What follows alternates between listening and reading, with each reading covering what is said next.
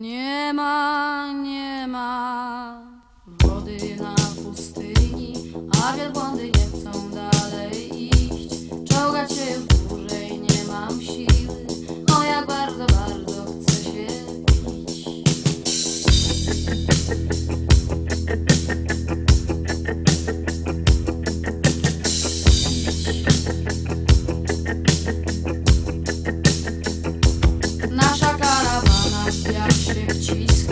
To nie w niej jak stutonowa łódź. Nasz kapelmistrz